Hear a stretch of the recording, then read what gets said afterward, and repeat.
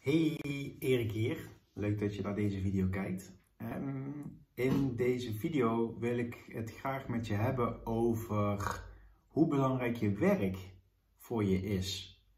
Of hoe belangrijk werk eigenlijk niet voor je is, mogelijk. En ik werd geïnspireerd om deze video te maken omdat ik uh, net uh, een um, fragment zag van Tim Hofman uh, in het programma Over mijn lijk. En Over mijn lijk is op BNN Vara volgens mij. En ik kijk eigenlijk, ik heb, ik heb geen, ja ik heb wel een tv, maar ik heb eigenlijk, kijk nooit een RTL en zo, dat kijk ik allemaal niet meer.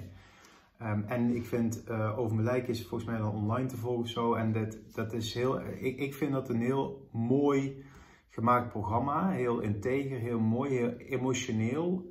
En het gaat over dat Tim Hofman, die gaat dan, en dat was eerst Patrick Lodiers en een ander, aantal andere mensen hebben dat uh, programma gemaakt. En op dit moment is het uh, Tim Hofman, die doet het al een paar jaar. En die volgt dan een aantal jongeren, een vijftal, zestal jongeren, die weten dat ze doodgaan. Die zijn terminaal ziek, die zijn uitbehandeld en die hebben heel vaak kanker hersentumor, uh, uitgezaaide borstkanker, uitgezaaide leverkanker, maagkanker enzovoort. Echt heel ja, heftig.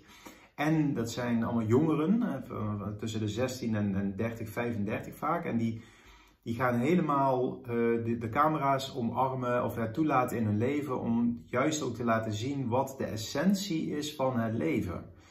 En wat je kunt doen als je te horen krijgt dat je er over een tijdje, en dat is voor heel veel mensen vaak zeer binnenkort, een jaar of twee of ander, eh, anderhalf, twee jaar bijvoorbeeld, omdat je er dan niet meer bent, wat dat dan met je doet. En Tim Hofman was met, samen met een andere jongen, die uh, was bij De Wereld Draait Door, bij uh, Matthijs van Nieuwkerk. Dus is al een, fragment van een, van een tijdje terug en die jongen is inmiddels ook overleden. Um, en daarin werd er gevraagd van, of werd er eigenlijk gezegd dat als je op je sterfbed ligt, um, hoe, wat onthoud je dan? Hè? Waar ben je dan mee bezig? En ik heb die oefening uh, een aantal jaar, een stuk of acht, acht, negen jaar geleden, heb ik die oefening zelf ook mogen doen bij een training over persoonlijk leiderschap. En daar werd ook die vraag gesteld van wat zou, je dat, wat zou je doen als je nog maar weet dat je twee jaar te leven hebt. Of misschien zelfs nog maar één jaar te leven. Wat zou je dan doen? En heel veel mensen, en dat zie je ook echt, volgens mij iedereen, maar misschien is er een uitzondering, dat weet ik zo niet. Iedere persoon die wordt gefilmd in die documentaire, die hebben geen werk meer. Die hebben geen baan meer. Die, die, die zeggen volkomen begrijpelijk van ja, eh, ik ga leven, ik ga um, reizen, ik ga bijzondere momenten creëren, ik ga op wintersport, ik ga op zomervakantie, ik ga met de camper ga ik rondtoeren, ik ga naar festivals toe, ik ga uh, oppassen op mijn kinderen enzovoorts. En uh, Tim Hofman, of, of die jongen, weet ik niet meer, die, die maakte de opmerking van ja, dat was die jongen inderdaad, die zei van ja, niemand is bezig met zijn baan. Als je, als je weet dat je dat niet meer gaat zijn, dan zegt er niemand: had ik nog maar meer uren gemaakt op kantoor. En dat geloof ik. Ik geloof dat we in ons leven dingen zo belangrijk gaan maken, die als je die eigenlijk gaat afpellen, als je gaat groeien in bewustzijn, als je daar meer mee bezig gaat zijn, dat je dan eigenlijk heel vaak of best vaak een ander antwoord gaat geven. Namelijk, die presentatie waar ik zo zenuwachtig voor ben. Het boeit niet. Uh, had ik nog maar meer geld verdiend? Nee, boeit niet. Um, uh, had ik nog maar meer uren achter de computer uh, nieuwe kwaliteitssystemen mogen ontwerpen? Nee, voor heel veel mensen boeit dat niet. En dat is volgens mij waar. Als je gaat kijken naar wat is de kern van het leven, dan zegt eigenlijk iedereen, dan zie je ook in die, in die documentaire, het gaat over, even mijn woorden, bijzondere momenten creëren met je geliefde. Liefde geven, liefde ontvangen, in wederkerigheid. Uh, op gelijkwaardige voet. Dus niet te veel van jezelf weggeven. Ook liefde mogen ontvangen, liefde voelen. Uh, liefde en licht uh, verspreiden. Lief zijn voor elkaar, aardig zijn voor elkaar. Niet alleen voor je partner, voor je familie, voor je gezin, voor je kinderen, voor je vader, moeder, je ooms en tantes en je vrienden, vriendinnen. Nee, ook voor Mensen die je niet kent, mensen die je nog niet kent. Uh, iemand die je tegenkomt bij de Albert Heijn, bij de Jumbo, bij de Superboer of bij, bij, de, bij de Plus, bij de Aldi. Uh, vriendelijk zijn, lief zijn voor elkaar. als we dat allemaal gaan doen, dan wordt het leven een stukje mooier. Sterker nog, dan wordt het leven echt veel meer de moeite waard. En dan gaan we echt ons weer herinneren waar het leven echt om gaat. Dus een prachtige uitvergroting in die documentaire. En um, toen, ik hem, toen ik hoorde van ja, niemand praat over, op zijn sterfbed over zijn werk, toen dacht ik, nou dan ben ik de eerste die dat wel gaat doen. Had ik nog maar meer filmpjes mogen maken, had ik nog maar meer mensen mogen inspireren, had ik nog maar een boek mogen schrijven, had ik nog maar meer mensen um, uh, inzichten mogen geven om verder te groeien. Ik ben iemand die van vrij jonge leeftijd al voelde dat ik de wereld wilde verbeteren. En het zijn dan vrij ambitieuze plannen. Ik wilde ooit, uh, ooit de, functie van Kofi Annan uh, overnemen van de, van de uh, Verenigde Naties. En die ambitie die heb ik laten, laten vieren. en hij is er nog steeds. Ik hoef geen directeur van de Verenigde Naties te worden. Wat ik wel wil doen, en dat is mijn zielsmissie, is om mensen te herinneren aan datgene wat ze vergeten zijn. Om mensen te laten groeien in bewustzijn. En voor mij staat mijn gezin, familie, vrienden staan voor mij op één. Mijn gezin, Yvonne, mijn drie kinderen, Lucas, Oscar, Julia, zijn voor mij by far het aller, allerbelangrijkste.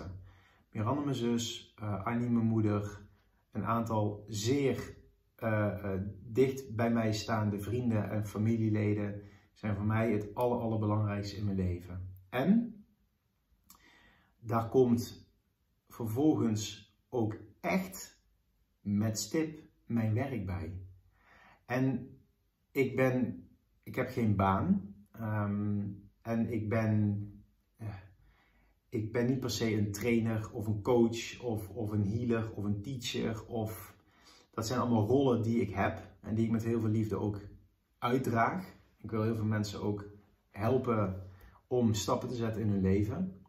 En ik zag laatst ook iets voorbij komen dat er in Nederland op dit moment meer dan 100.000 coaches zijn. En dat het een hele groeiende markt is. En dan denk ik, ja, klopt, er zijn ongelooflijk veel coaches.